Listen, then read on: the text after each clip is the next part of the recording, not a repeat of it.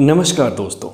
कोई ऐसा दिन नहीं होता जबकि मेरी मेल में ये सवाल नहीं आते कि, सर, मैं अपने एक्स को आकर्षित करना चाहती हूँ। मेरा बॉयफ्रेंड या गर्लफ्रेंड लंबे समय तक मेरे साथ था, अचानक उसने मुझे ब्लॉक कर दिया, अचानक उसने इस रिलेशनशिप से क्विट करना चाहा है। क्या मैं उसे वापस पा सकता हूँ? दोस्तों, ये सवाल उठता है कि क्या हम अपने अंदर की शक्तियों से, अपने प्रेम को, अपने सोलमेट को या किसी खास इंसान को अपनी तरफ़ आकर्षित कर सकते हैं? अगर हाँ तो उसका विज्ञान क्या है? क्या है वो टेक्निक इसके बारे में इस वीडियो में मैं डिटेल में बात करूँगा। इसलिए बने रहिए इस वीडियो में। दोस्तों, हम अपनी लाइफ में किसी भी सिचुएशन को या किसी भी आदमी को अट्रैक्ट करते हैं, वो डिपेंड करता है हमारे वाइब्रेशन पे। दोस्तों, ये हमारा स्थूल शरीर है। This is our physical body इसके चारों तरफ़ एक एनर्जी बॉडी है, जिसको कि इंग्लिश में और कहते हैं। ये और किरलियन फोटोग्राफी में बिल्कुल क्लियर दिखती है। जो भी इसकी वाइब्रेशन होती है ten hertz twenty hertz two hundred hertz two thirty hertz उसी के हिसाब से सिचुएशन हम अपनी लाइफ में अट्रैक्ट करते हैं। वैसे ही लोगों को हम अपनी लाइफ में अट्रैक्ट करना चाहते हैं। शायद यही कारण है कि एक बुज़ुर्ग बुज़ुर्ग के साथ रहना पसंद करता है और एक बच्चा बच्चे के साथ ही खेलना पसंद करता है। दोस्तों, मुझे याद है वो दिन 2004-2005 का जबकि लोग मुझे बहुत ही लाइटली लेते थे, कोई भी कुछ कह के निकल जाता था, लोग बहुत सारे फ़ंक्शन में मुझे बुलाते नहीं थे। लेकिन जैसे ही मेरा मेडिकल में सिलेक्शन हुआ, एक गवर्नमेंट मेडिकल कॉलेज में मुझे सीट मिली, लोगों को देखने का तरीका बदल गया, मेरे अंदर का कॉन्फिडेंस बदल गया, मेरे रिलेशनशिप कौन से लोग मेरे साथ थे, वो सब कुछ बदल गया। क्यों? क्योंकि मेरी वाइब्रेशन बदल गई। अब इसी थियोरी को हम रिलेशनशिप में अप्लाई करते हैं। दो इंसान कभी भी तभी साथ रह पाएँगे जब उन दोनों की वाइब्रेशन आपस में मैच करेगी।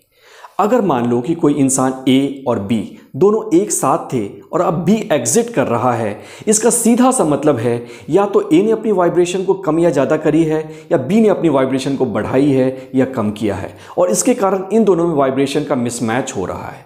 अब हमें मेंटली आदत पड़ी होती है कि नहीं, मैंने तो कुछ नहीं किया, मुझे वो इंसान चाहिए। लेकिन उसकी वाइब्रेशन उससे बार बार ये कह रही है कि वो ए के साथ अनकंफर्टेबल है डिसकंफर्ट फील करता है और इस रिलेशनशिप से बाहर जाना चाहता है।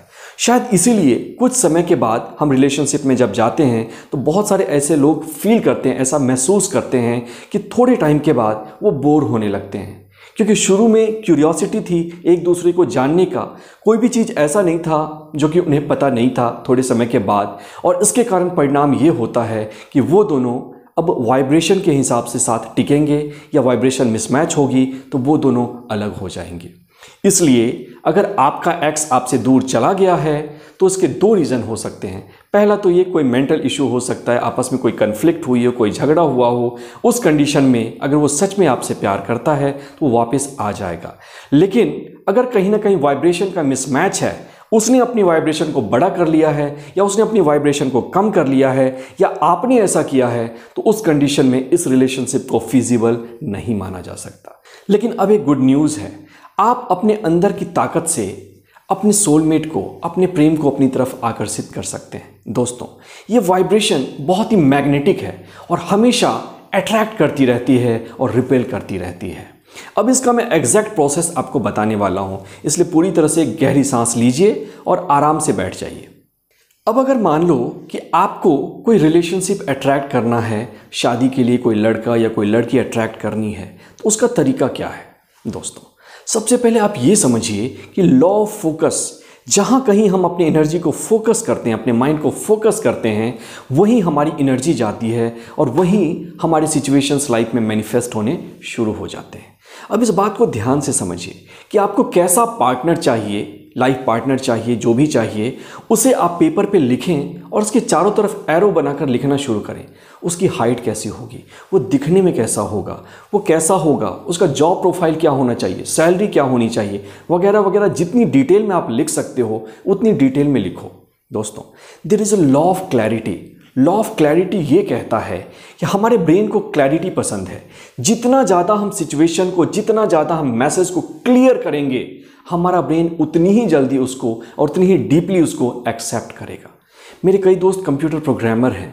वो कहते हैं कि जब हम कंप्यूटर को प्रोग्राम देते हैं तो प्रोग्राम पूरी तरह से एक्यूरेट होना चाहिए और डिटेल में होना चाहिए। एक भी चीज़ अगर मिस करेगी तो कंप्यूटर प्रोग्राम नहीं लेगा और रिज़ल्ट नहीं देगा। आप में से भी जो इंजीनियर हैं, वो इस बात को जानते होंगे। तो दोस्तों यही हमारे ब्रेन के साथ भी है। यही सेम मॉडल एक्ट करता है।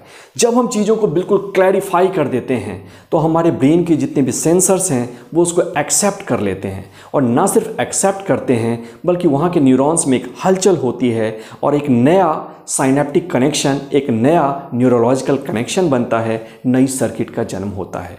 और यही वो सर्किट है जो कि नए थॉट्स को फायर करेगी। अब दोस्तों, समझने वाली बात यह है कि हमारी वाइब्रेशन का एक पार्ट है इलेक्ट्रिकल पार्ट जो कि हमारे थॉट से बनता है। तो ये थॉट यहाँ पे ज़रूरी है फोकस्ड थॉट जो कि ब्रेन अपने आप फायर करना सीख जाए। अब दूसरा पार्ट इसमें यह आता है, वो है कि मैग्नेटिक पार्ट और मैग्नेटिज्म कैसे बनेगी? मैग्नेटिक पार्ट इलेक्ट्रोमैग्नेटिक वेव की वो बनती है हमारी फीलिंग से। अब हमने थॉट्स तो क्रिएट कर लिया वैसा, लेकिन जब तक थॉट्स फीलिंग के साथ मैच नहीं करेगा, तब तक सिचुएशंस मैनिफेस्ट नहीं होगी। तब तक वो हमारे वाइब्रेशन में नहीं जाएगा और तब तक हम वैसे पर्सन को अपनी लाइफ में अट्रैक्ट नहीं कर पाएँगे। अब आपने देखा होगा, आपकी लाइफ के एग्ज़ाम्पल से मैं पूछता हूँ कि हम अपनी फीलिंग को कैसे चेंज कर सकते हैं। मुझे याद है पंद्रह बीस साल पहले मैं एक फ़िल्म थिएटर में बैठा हुआ था, देख रहा था। घर द्वार शायद फ़िल्म का नाम था। वहाँ पे कुछ ऐसी वैसी सीन होती हैं जहाँ पे कि कुछ रोने वाला कांड था। अचानक से थिएटर की लाइट जाती है और इमरजेंसी लाइट ऑन होता है। और वहाँ पर दिखता है कि बहुत सारे लोग, खास करके महिलाएँ, बहुत ज़्यादा रो रही थी, उनकी आँखों में आँसू थे। वहीं थोड़ी देर के बाद कोई कॉमेडी सीन आता है और सभी के सभी स्माइल कर रहे थे, हंस रहे थे। इसका रीज़न क्या होता है?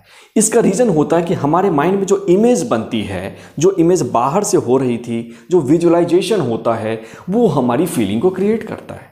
तो कहने का अर्थ ये कि जब आपने उस पर्सन की इमेज अपनी आँखों में बना ली है तो वह आप फील करें। हम किसी भी काम को करते हैं, उसका एक पर्पस होता है। हम अमीर क्यों बनना चाहते हैं? क्योंकि हम सेफ़ होना चाहते हैं। हम सफलता क्यों प्राप्त करना चाहते हैं? क्योंकि लोगों की नज़र में अपनी रिस्पेक्ट को बढ़ाना चाहते हैं। हम किसी रिश्ते में क्यों जाना चाहते हैं? क्योंकि हम कंप्लीट फील करना चाहते हैं। वगैरह वगैरह। आपके अलग रीज़न हो सकते हैं। आप उस रीज़न को देखें और अपने मन में विजुलाइज करना शुरू करें। देखना शुरू करें कि आप उस पर्सन के साथ घूम रहे हैं, खाना खा रहे हैं। सारी वो एक्टिविटी जो कि आप अपनी लाइफ में करना चाहते हैं, वो उसके साथ कर रहे हैं और आप उसको लिटरली इंजॉय कर रहे हैं। और जब इस तरह से आप इमेज को बार बार बॉम्बार्ड करेंगे इमोशनली चार्ज सिचुएशन और विजुलाइजेशन के साथ तो आपके हार्ट से पॉजिटिव इमोशंस निकलनी शुरू हो जाएँगी। और यही वो वक्त है जबकि इलेक्ट्रिकल सिग्नल और मैग्नेटिक सिग्नल एक रेजोनेंस में आ जाते हैं सेम फ्रीक्वेंसी पे आ जाते हैं और यहीं पे आपके वाइब्रेशन का जन्म होता है। और वो स्पेसिफिक पर्सन आपकी लाइफ में अट्रैक्ट होने लगता है। दोस्तों, ये बातें जो मैं आपको बता रहा हूँ, ये कोई थियोरेटिकल नॉलेज नहीं है, ये प्रैक्टिकल एक्सपीरियंस के साथ बता रहा हूँ। आज मुझे बहुत टाइम हो गया दस साल से ऊपर इस काम को करते हुए काउंसलिंग को करते हुए और लोगों की हेल्प करते हुए। तो आप इसको आजमाएँ और याद रखना रिज़ल्ट कब मिलेगा? लोग कहते हैं रिज़ल्ट कब मिलेगा? रिज़ल्ट तब मिलेगा जिस दिन की आपकी वाइब्रेशन एग्जैक्टली मैच कर जाएगी, जिस दिन की आपकी वाइब्रेशन फिक्स होगी और रेगुलरली आप सेम तरह की वाइब्रेशन को अपनी बॉडी से, अपनी और से रेडिएट करेंगे। तो मुझे ऐसा लगता है कि मैंने आपके सवालों का जवाब दे दिया कि मेरा एक्स कब वापस आएगा। क्या मैं अपने एक्स को फिर से प्राप्त कर सकता हूँ? क्या मैं अपने प्यार को आकर्षित कर सकता हूँ? दोस्तों, अगर वीडियो अच्छी लगी हो तो अपने साथियों तक ज़रूर भेजें। और आपने इस वीडियो से क्या सीखा? या कम से कम एक टॉपिक का नाम लिख कर बताओ जिस पर कि आप वीडियो चाहते हो। अगर वो टॉपिक मेरे पसंद का हुआ, जिस पर कि मैं आपको कुछ दे पाऊँगा तो ज़रूर मैं ऐसे वीडियो बनाऊँगा। और दोस्तों, मैं ये चाहता हूँ कि आप मेरे साथ इंस्टाग्राम पर ज़रूर जुड़ें, डॉक्टर पीयूष प्रभात वहाँ पर सर्च करें और आप इंस्टाग्राम पर मुझे लाइक कर सकते हैं। दोस्तों, इसके साथ ही आज के लिए थैंक यू थैंक यू